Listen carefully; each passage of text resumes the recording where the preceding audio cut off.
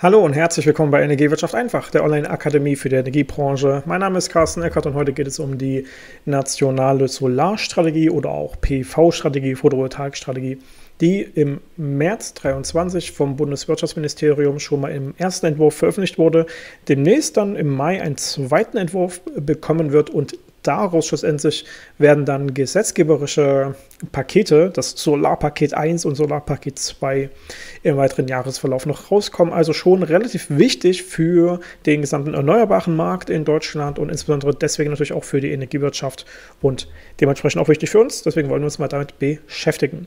Ich bin im Großen und Ganzen jetzt wieder da. Ich hatte jetzt ein bisschen Ruhe, weil mein Kind ist auf die Welt gekommen. Ich bin dementsprechend jetzt gerade auch äh, ein bisschen gestresst, ich bin nicht rasiert, aber ich habe mir gedacht, ich mache dieses Video jetzt sofort oder gar nicht. Deswegen ähm, geht es immer einfach los. Und zwar haben wir hier am 10. März 2023 eine Pressemitteilung von oder beim Bundeswirtschafts- und Klimaschutzministerium zum ersten PV-Gipfel. Das war eine Veranstaltung oder schlussendlich auch eine, eine Reihe mit viel Diskussionen rund um Photovoltaik und wir haben dann hier eben die Veröffentlichung der ersten oder des ersten Entwurfs der Photovoltaikstrategie.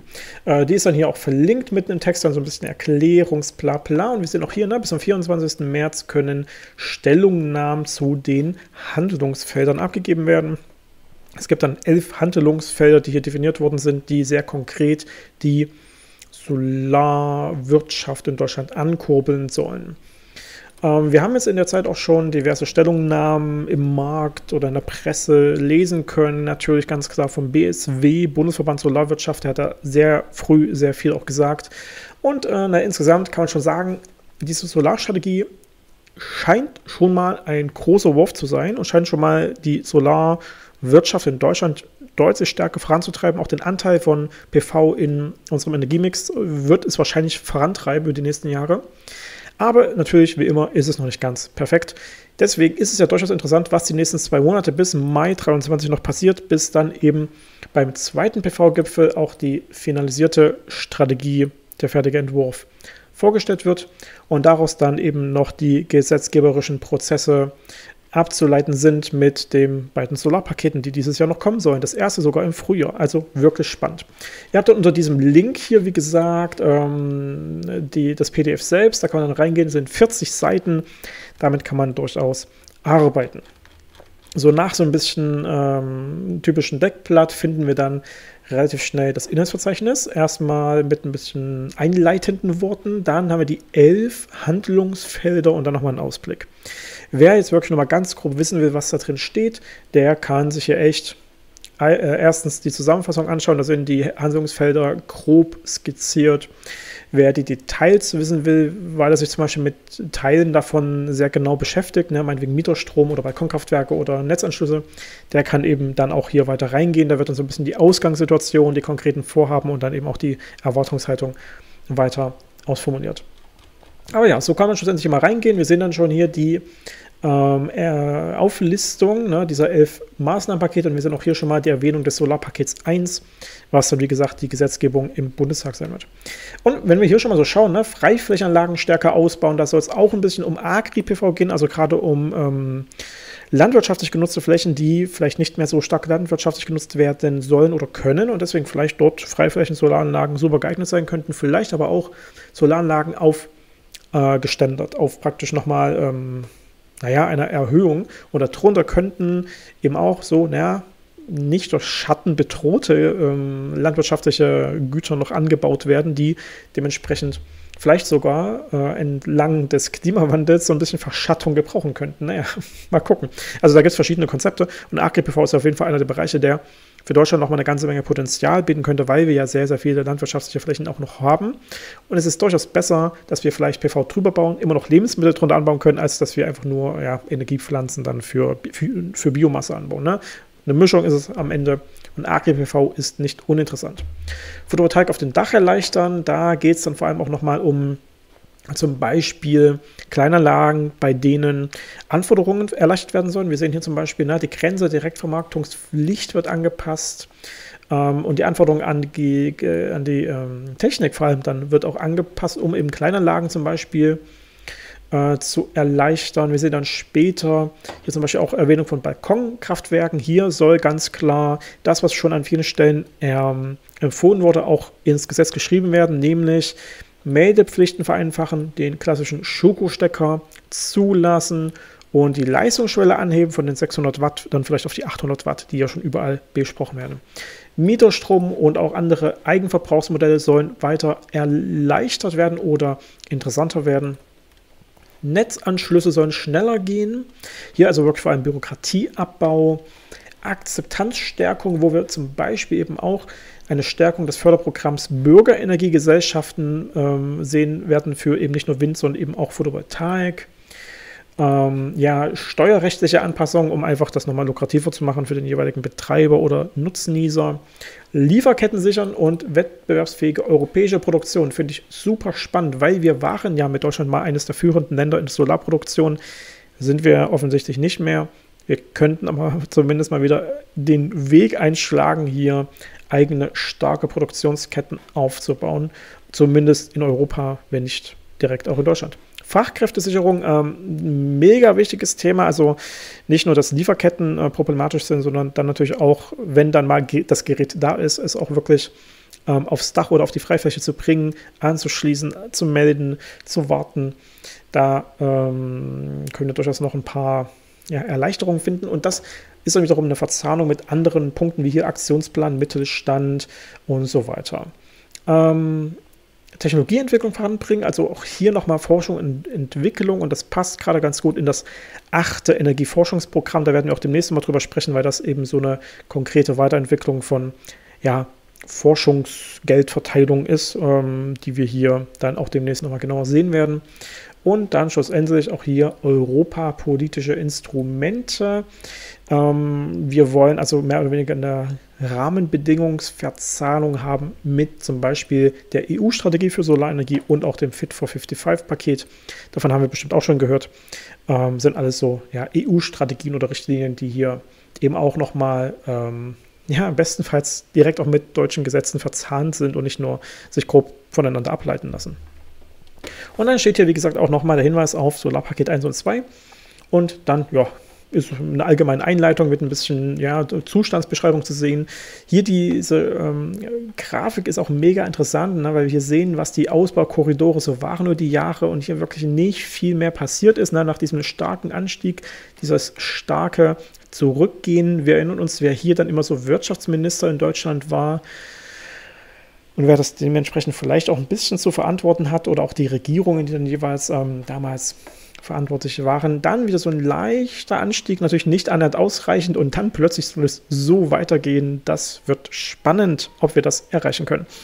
Ähm, dann haben wir hier nach diesen nochmal kurzen Aufstaffierungen, was so immer dahinter stecken könnte, eben die konkreten Handlungsfelder mit jeweils der Ausgangssituation mit jeweils den Maßnahmen und den nächsten Schritten und daraus dementsprechend dann das Ergebnisbild, was wir hier erreichen wollen. Ich kann also durchaus empfehlen, dass ihr euch mal konkret äh, vielleicht im Inhaltsverzeichnis anschaut, welche Themen hier äh, behandelt werden und dann eben das wirklich auch mal durchliest. Wenn ich jetzt zum Beispiel sage, na gut, mich könnte meinetwegen Balkonkraftwerke besonders eher interessieren, dann kann ich eben auch nochmal reingehen, dann wird hier beschrieben, okay, bisher passiert dort durchaus was, aber es gibt diverse bürokratische Hürden und auch vielleicht technische Herausforderungen, ob das wirklich alles so in Ordnung ist. Und dann aber eben auch so die Erklärung, ja, wir wollen schon, dass das deutlich wichtiger wird. Und dann eben hier konkret Maßnahmenbeschreibung, wie könnte man das jetzt hier verbessern, erweitern und so weiter. Ne? Auch hier ist dann der Hinweis, ne, wir wollen also hier Meldeflächen vereinfachen äh, oder sogar streichen, äh, Schokostecker zulassen, äh, 600 Watt nicht äh, mehr nur als Grenze zulassen, sondern erhöhen. Ne, hier wird zum Beispiel von 800 Watt gesprochen. Äh, rückwärtsdrehende Zähler dulden, bis dann meinetwegen der Smart Meter drin ist, der das dann sowieso anders ähm, abspeichern kann und so weiter. Ne? Also, und auch hier eben zum Beispiel ne, die, die, die Duldung des Vermieters oder Eigentümers ähm, erleichtern. Könnte man vielleicht noch sagen. So, da gibt es verschiedene Rahmenbedingungen, ähm, ob so ein Balkonkraftwerk vielleicht sogar das Recht des Mieters sein könnte. Naja, muss man drüber nachdenken. Am Ende des Tages wollen wir so viel Solar wie nur möglich in Deutschland haben, weil wir auch jede Menge Potenzial haben. Und es wäre schon cool, wenn das eben hier bei möglichst jeder Mietwohnung auch einfach äh, möglich wäre. Naja, da wo es baulich geht. So, und dann sehen wir hier eben durchaus eine ganz konkrete Ideen, die hier vorgeschlagen werden. Und das ist natürlich eine schöne Geschichte. Das ist, wie gesagt, aber eben alles eine Photovoltaik-Strategie. Das ist also eine Beschreibung von Rahmenbedingungen, Zielbildern und Maßnahmen, also von Ansätzen. Das ist so natürlich noch nicht ein Gesetz oder eine konkret so unmittelbar umzusetzende Vorgabe, sondern das ist eine Beschreibung der Leitplanken, wo wir hinwollen. Und wenn wir das so weiter sich entwickeln sehen, ne, also wenn dieses, dieser erste Entwurf der Strategie dann mit den diversen Rückmeldungen, die hier ja bis zum 24. März kommen sollen, dann bis Mai überarbeitet wird. Und wenn da das schlussendlich dann also ein, ein Maßnahmenpaket wird, was sehr, sehr greifbar ist, kann man davon ausgehen, dass natürlich parallel schon diese Solarpakete, diese gesetzgeberischen Prozesse, also vor allem Änderungen des EEGs und Änderungen von diversen baugesetzlichen Verordnungen und Gesetzen, ne, dass die dann schon ausformuliert werden und dann auch durchaus relativ schnell ich würde dann vermuten, noch im Mai oder Juni äh, im Bundestag landen werden. Also ist das nicht uninteressant, was hier als allgemeiner Text steht. Das können wir schon ableiten für konkrete gesetzgeberische Ansätze, die dann in den nächsten Monaten auch konkret kommen werden. So, von daher ähm, kann ich also wirklich nur empfehlen, hier mal reinzuschauen. Diese 40 Seiten sind jetzt nicht allzu viel, aber gerade wenn man sagt, na, mich interessieren von diesen elf Maßnahmen meinetwegen fünf, dann sind das halt am Ende zehn Seiten, die ich mir konkret mal durchlesen würde. Und das kann man ja wohl irgendwie noch zeitlich unterkriegen. Und dann schlussendlich, ne, wir haben jetzt die 10, dann haben wir die 11 und schon sind wir dann bei Ausblick. Und auch da nur eine knappe Seite. Nochmal der Hinweis, auf diese Konsultation. Ne, Stellungnahmen könnten hier hingeschickt werden und dann werden wir Solarpaket 1 und 2 noch in diesem Jahr in den, im gesetzgeberischen Prozess sehen. Also nicht uninteressant. Schaut euch gerne mal diese Photovoltaik-Strategie an. Ich kann schlussendlich sagen, wenn ich jetzt nochmal äh, hochgehe in das Inhaltsverzeichnis, dass wir wirklich ein paar der wichtigen Themenfelder auch haben. Ne? Freiflächen stärker ausbauen. Es ist durchaus so, dass äh, Freiflächen gerade im sogenannten Außenbereich baurechtlich ja wirklich bisher mit unglaublich vielen Hürden versehen waren. Ähm, und es sich überhaupt nur dann lohnt, da wirklich mit immensem bürokratischen Aufwand heranzugehen, wenn man eine wirklich große Anlage projektieren will. Das ist dann wieder widersprüchlich mit dem Ansatz, na, möglichst dezentral, möglichst überall was zu bauen.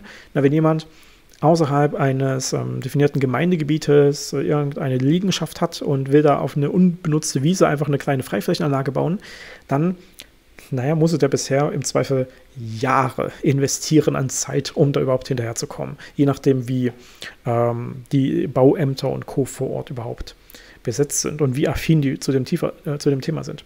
Photovoltaik auf dem Dach ist euch schon ja auf einem guten Weg, aber muss einfacher werden. Gerade Kleinanlagen müssen oder kleinere Anlagen müssen noch einfacher werden, damit das einfach ja, die diversen Anreize, die es schon gibt, einfach mit null Hürden versehen sind. Also klar, wichtiges Thema.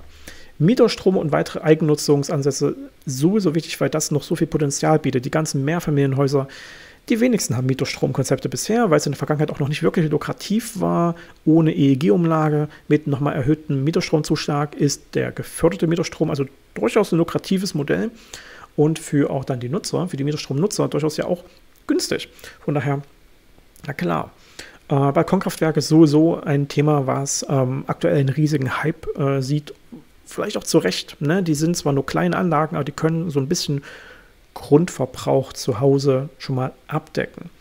Netzanschlussbeschleunigung. Es ist jetzt nicht immer so das riesige Thema gewesen, dass es lange gedauert hat. Also das EEG war ja schon ein mächtiges Mittel, um zu sagen, hey, lieber Netzbetreiber, meine Solaranlage will jetzt bitte mal ins Netz. Ähm, die meisten haben nicht lange gebraucht, aber auch da gilt natürlich Bürokratieabbau, weil es schon nicht für den Laien durchdringbar war, was er machen musste. Ne? Also hat also immer der Elektriker übernehmen müssen, dafür hat natürlich auch nochmal eine Rechnung geschrieben. Im Zweifel ja auch zu Recht, aber äh, weil wir ja nicht genügend Handwerker haben, nicht genügend Fachkräfte haben, die den Bau machen, dann sollen die vielleicht ein bisschen entlastet werden bei der Bürokratie rund um dann die Anmeldung und das Streiten mit dem Netzbetreiber, wenn noch irgendwelche Rückfragen sind. Akzeptanzstärkung, naja, wir werden hier vor allem sicherlich im Rahmen dieser Bürgerenergieförderung sehen, dass die Vergesellschaftlichung oder Genossenschaftlichung äh, von, vom, vom Ausbau von Solaranlagen ja wirklich Effekte hat. Ich bin da selbst bei einer kleinen äh, Bürgerenergiegenossenschaft beteiligt. Ähm, das ist schon immer sehr unverdächtig für die bisher noch nicht so interessierten Leute. Ne? Da kommt halt eine Genossenschaft, die besteht aus Bürgern und Bürgerinnen. Also das ist deutlich weniger hm, aufdringlich oder so mit, mit oh, Hintergedanken versehen wie der klassische kapitalistische ähm, Energieversorger oder äh, Startup oder Konzern. Klar. Steuerrecht, klar, Bürokratieabbau. Ähm, Produktion in Europa, Lieferkettensicherung finde ich mega wichtig, weil wir teilweise in den letzten Monaten ja wirklich ewig warten mussten, bis Teile angekommen sind, weil sie eben aus China kommen mussten. Wir hatten praktisch ja fast gar keine europäische Produktion. Meyer Burger ist ja gerade sehr am Ausbauen, aber die sind, naja, ich glaube aus der Schweiz, immerhin deutschsprachig, aber trotzdem ähm, geht da mehr. Wir waren früher mal so führend. Fachkräftesicherung immer ein Thema, Technologieentwicklung immer ein Thema. Gerade jetzt mit dem Energieforschungsprogramm, da machen wir auch nochmal ein Video dazu. Nicht uninteressant. Und dann schlussendlich nochmal so Rahmenbedingungen, politische Instrumente. Also einfach nur dafür sorgen, dass es auch wirklich losgeht, weil ich möchte nochmal erinnern an diese Grafik, die wir hier gesehen hatten. Also um von hier dorthin zu kommen, also innerhalb der nächsten acht Jahre eine Verdreifachung des aktuellen Ausbau, aktuellen Ausbaugeschwindigkeit hinzubekommen, das ist nicht ganz so einfach. Aber notwendig. Und dementsprechend sind diese Rahmenbedingungen, diese Ziele in dieser PV-Strategie nicht unwichtig. Also, wenn ihr Fragen, Anmerkungen oder ähnliches habt zu dieser Strategie hier selbst, dann gerne unten schon mal in die Kommentare schreiben. Ähm, ansonsten, wie immer, like das Video, abonniert den Kanal und aktiviert die Glocke, damit ihr auch die nächsten Videos nicht verpasst. Jetzt kommen, denke ich, eine ganze Menge Videos zu aktuellen Themen, die sich da so gesammelt haben. Und ja, dann wie immer, bis zum nächsten Mal hier bei Energiewirtschaft einfach, der Online-Akademie für die Energiebranche. Mein Name ist Carsten Eckert.